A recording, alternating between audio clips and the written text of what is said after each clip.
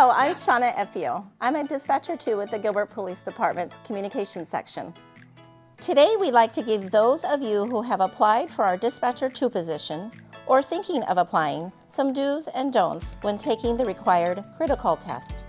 Do use a standard computer monitor with a full keyboard that has a number pad and external mouse.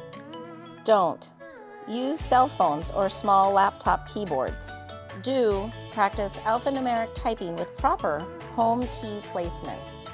Don't one finger hunt and peck method.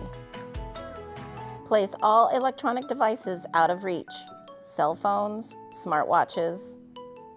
Don't leave cell phones on or take a phone call. Yeah, I'm taking a test. Or leave smartwatches on. Here are some other tips for you as you take the test. Do just keep moving through the test despite mistakes. Don't get frustrated over mistakes or dwell on them. Work diligently and thoughtfully. There is ample time to complete. Don't go too fast and make needless mistakes, or too slow and run out of time.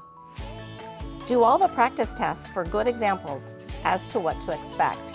Don't bypass the practice tests. Test in a quiet place so that you can focus on the test.